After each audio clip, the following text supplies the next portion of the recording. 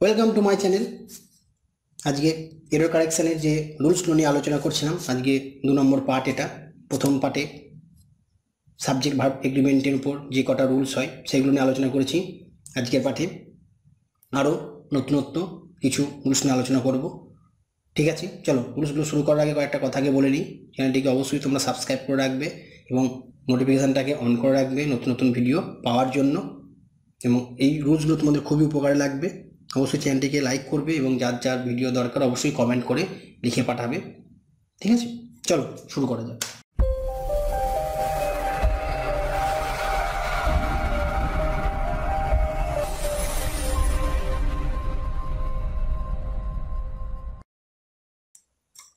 দেখো, আজকে আমরা কিসের উপর করব? না uses of participle and infinitive খুব ইম্পর্টেন্ট রুলস কিন্তু মনে রেখে দেবে। প্রথম রুলসটাকে লক্ষ্য করো। প্রথম রুলসটার মধ্যে কী আছে প্রথম?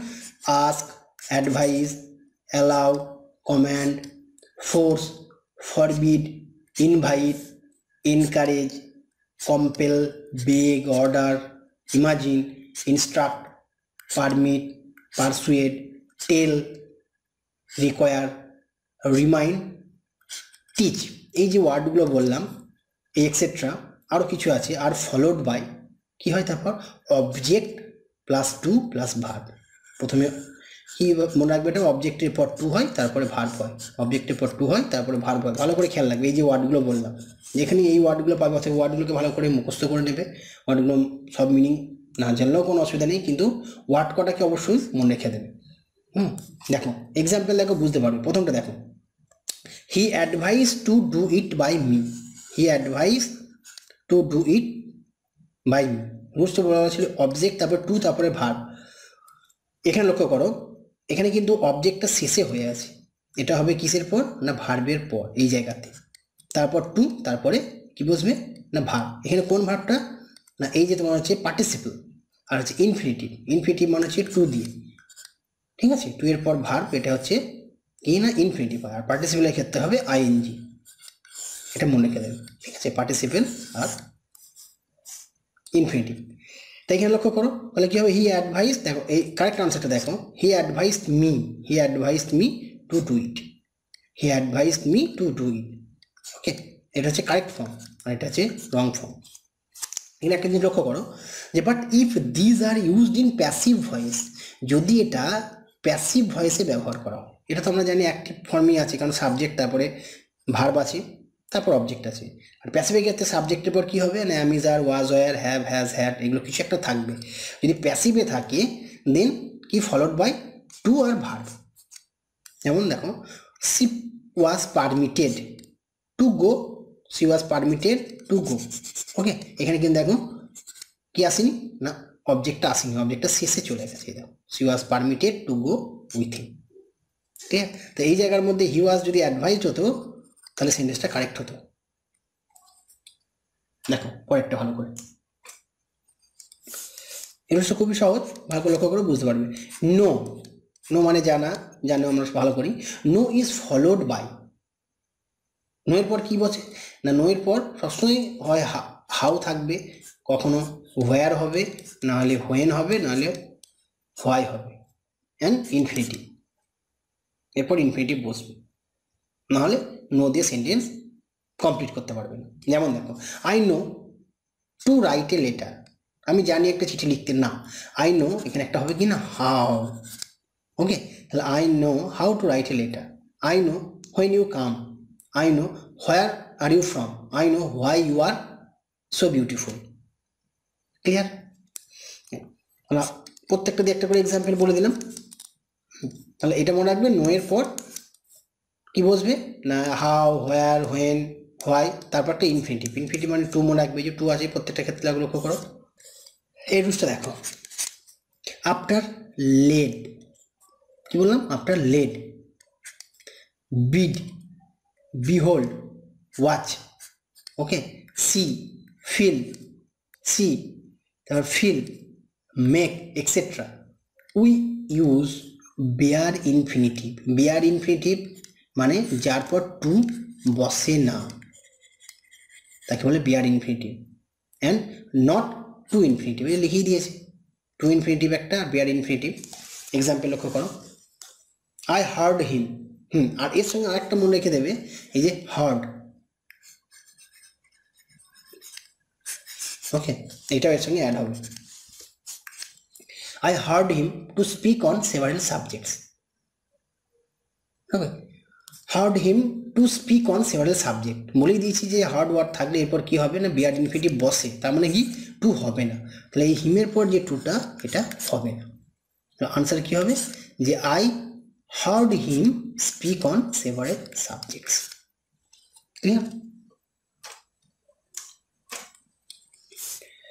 এটা লক্ষ্য করা। Bare infinitive is used bare infinitive ব্যবহার কখন? আপনার মডাল অক্সিলারিজ অনেক সময় মডাল যে অক্সিলারিজগুলো আছে, যেমন can could may might shall should will would must dare not need not এইগুলোর পর কি? বসে। অবশ্যই বসে মনে রাখবে। যে bare infinitive is used after modal auxiliaries যেমন you need not to work hard you need not to work hard wrong কোথায় এই যে টুটা বিয়ার ইনফিনিটিভ মানে দেখুন টু থাকবে না। একটা বিয়ার ইনফিনিটিভ আর একটা হচ্ছে টু ইনফিনিটিভ তাহলে you need not work hard you need not work hard এটা হচ্ছে কারেক্ট আনসার ওকে এটা রং এটা correct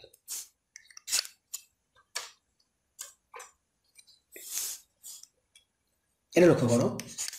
Had better had rather, had as soon as, had sooner, etc. are followed by bare infinitive. Bare infinitive খুব important মনে রেখে দেবে এই যে বেয়ার ইনফিনিটিভ উপর দুটো না তিনটে যে রুলসগুলো বলে দিলাম ভালো করে দেখবে বেয়ার ইনফিনিটিভ থেকে প্রায় আসে। আর মিস্টেকটা বুঝতে পারা যায় না যে ভুলটা থাকে। যেমন he had better to go now he had better এই যে হ্যাড বেটার কথাটা লেখা আছে না? হ্যাড বেটার এটা থাকলে কি হয়? বলেছি এরপর ফলোড বাই এর পরে কি বলছে? ফলোড বাই মানে সবসময় মনে রাখবে পরে। ওকে আর প্রিসিডেড বাই মানে হচ্ছে আগে।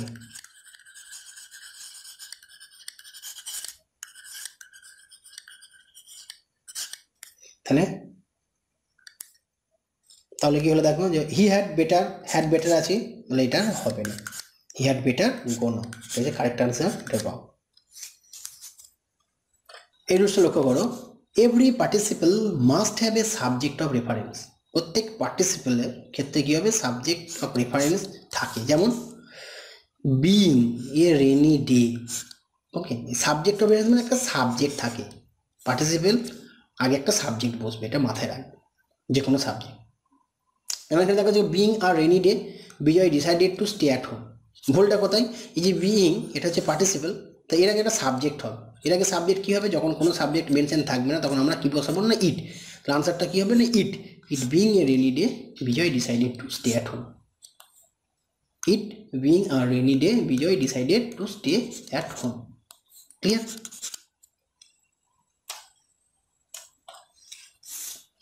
সেটা লক্ষ্য করো। For completed action having plus V three having এর পর যদি ভি থ্রি হয় is used in active voice এবং এটা অবশ্যই যদি অ্যাক্টিভ ভয়েসে ব্যবহার হয়। Whereas having plus been plus V three or wing plus V three is used in passive voice active voice হচ্ছে হ্যাভিং প্লাস ভি থ্রি আর প্যাসিভ ভয়েসের মধ্যে having been V three being V three is use passive voice এই after এই কথাটা মনে রাখবে after should not be used in such sentence এই ধরনের সেন্টেন্সের ক্ষেত্রে আফটার বসবে না। কি বলুন এই ধরনের যে সেন্টেন্স সেই সেন্টেন্সের ক্ষেত্রে আফটার বসবে না। এক্সাম্পলে চলে এসো, যে after the leader having a দেখো লেখা আছে having been having been killed passive form having been killed the followers ran হয় সেই ক্ষেত্রে কী হবে? না the leader having been kill the followers ran হয় এখানে এই আফটার এই যে ওয়ার্ডটা এটা বসবে না। খুব ইম্পর্টেন্ট রুলস দেখো এটা ভালো করে। পার্টিসিপাল লাইক কনসিডারিং আমরা জানি আইনজি থাকবেই। কনসিডারিং জাজিং তারপর কি? না রেফারিং কনসার্নিং তার সঙ্গে মনে রাখবে। Regarding viewing broadly speaking etc do not take any subject of reference. Do not take any subject of reference. কি হয় না এরা? কি বলেছে? Do not take any subject of reference কোনো সাবজেক্ট নেবে না। এর আগের ক্ষেত্রে যেমন বললাম বিইং ওকে এটা থাকলে তার আগে কী হবে না? অবশ্যই একটা সাবজেক্ট নেবে। ইট বা যে কোনো কিছু। আর এইটার এইগুলোর ক্ষেত্রে এই ওয়ার্ডগুলো থাকলে কোনো সাবজেক্ট হবে না। এক্সাম্পল দেখো যেমন, যে কনসিডারিং দ্য কেস কেসটা বিবেচনা করে আই টুক দ্য ডিসিশন আমি আমি ডিসিশন নিয়েছিলাম। এর আগে যেমন ইট বা সামথিং কিছু একটা সাবজেক্ট বললাম, এটা বসবে না। এই রুলসটা অনুযায়ী। তাহলে কী কী word considering জাজিং referring concerning regarding viewing broadly speaking etcetera do not take any subject of reference দেখো here I is not a subject of reference of considering যে here I is not a subject of reference of considering এটা considering এর ক্ষেত্রে considering এর subject কিন্তু I নয় এখানে। So there is no subject of reference for considering considering এর কিন্তু কোনো সাবজেক্ট এখানে হচ্ছে না। স্টিল ইজ দ্য সেন্টেন্স আশা করি ভিডিওটা তোমাদের খুব ভালো লেগেছে। এখান থেকে তোমরা নতুন নতুন অনেক রুল শিখতে পেরেছ, যেগুলো তোমাদের পরীক্ষাতে কাজে লাগবে। যদি ভিডিওটা ভালো লাগে, অবশ্যই ভিডিওটা লাইক করবে, প্রচুর পরিমাণে ভিডিওটাকে শেয়ার করবে এবং চ্যানেলটিকে অবশ্যই সাবস্ক্রাইব করে রাখবে এত সহজে ইংলিশ শেখার জন্য। ঠিক আছে? এবং নোটিফিকেশানটা অবশ্যই অন করে রাখবে, পরের পার্টটা খুব তাড়াতাড়ি পাওয়ার জন্য। রেগুলার বেসিসে আমি ভিডিও আপলোড করে থাকি। এটা দু নম্বর পার্ট এরপরও অনেকগুলো পার্ট আপলোড করব এডিওর কারেকশানের উপরে। ওকে পুরো ভিডিওটা দেখার জন্য ধন্যবাদ। পরের ভিডিওতে আবার দেখা হবে।